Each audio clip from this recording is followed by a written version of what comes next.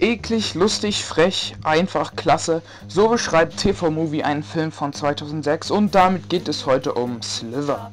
Ein normales Pärchen in einer normalen Kleinstadt, doch der Gatte wird durch eine Reihe von dummen Zufällen von Aliens infiziert. Lästige Nebenwirkungen sein unstillbarer Hunger nach Fleisch. Fleisch. Und wenn die Steaks halt alle sind, kommt das Vieh. Und wenn das Vieh halt alle ist, kommen die Mitmenschen. Somit fängt er an, nach und nach die Kleinstadt zu infizieren und Nachkommen zu produzieren, die natürlich auch nichts anderes im Sinn haben, als Frischfleisch zu verzehren. Doch zum Glück gibt es immer noch die tapfere Gruppe von Kleinstadtpolizisten, die sich der Invasion in den Weg stellen. Aufhören! Slither ist also eine Art Hommage an Kleinstadt-Horror- und Zombie-Filme von früher und nimmt sich natürlich nicht allzu ernst. Trotzdem ist es keine reine Parodie, denn er hat durchaus auch seine eigene Story. Und hier wurde ein recht origineller und fürs Genre auch untypischer Weg eingeschlagen, denn der Mann, der immer mehr zum schleimigen und mit Tentakeln übersäten Monster mutiert, liebt seine Frau eigentlich immer noch und möchte einfach nur mit ihr weiter zusammenbleiben. Und ich werde bei dir bleiben. In guten wie in schlechten Zeiten. Das sind aber verdammt schlechte Zeiten. Diese Situationen sind ziemlich absurd und auch recht lustig und in einer gewissen Art und Weise auch beängstigend anrührend. Sonst ist Sliver nicht so der große Brüller, eher gibt es Szenen zum Schmunzeln, meistens sind es auch die Szenen mit den Infizierten, die einen zum Lachen bringen. Irgendwas stimmt mit mir nicht.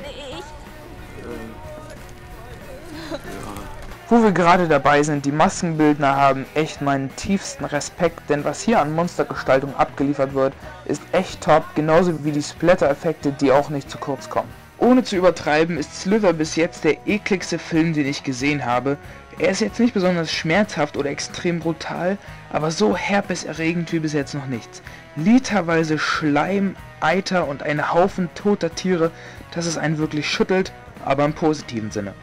Der Film braucht am Anfang ein wenig, um in die Gänge zu kommen und die Charaktere einzuführen, kann dann aber mit dem Splatterspaß und den Kreaturen soweit entschädigen.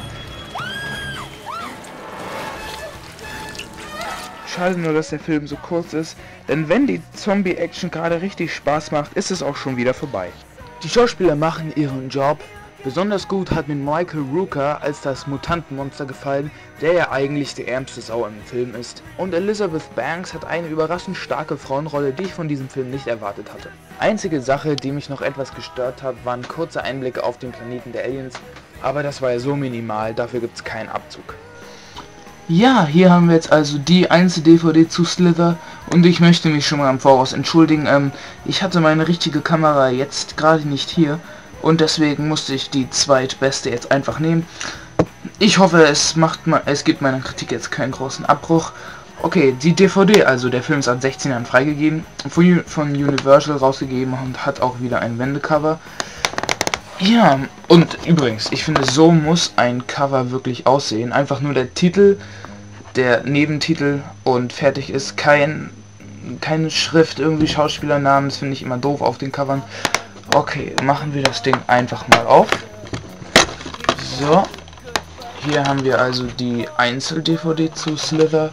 Oh, ganz normal eigentlich, nichts Besonderes, kein Zusatz irgendwie. Ab 16 ist auch berechtigt, durchaus. Und an Bonus haben wir hier drauf unveröffentlichte Szenen sowie ein Gag-Reel, also verpatzte Szenen. Dann haben wir noch, wie sie hier die Monster gestaltet haben, wie sie darauf gekommen sind, wie sie die visuellen Effekte gemacht haben und noch vieles mehr. Also wirklich sehr interessante Extras, schaut sie euch an. Und der Film geht um die 90 Minuten und das war's auch schon zur DVD von Slither.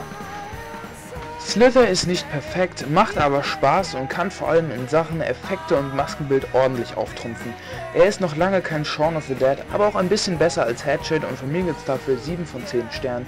Und für heute verabschiede ich mich mit dieser schleimigen Kritik. Das war's von mir, euer Mechanics 8. Ciao. Der Bastard hat uns hierher gelockt.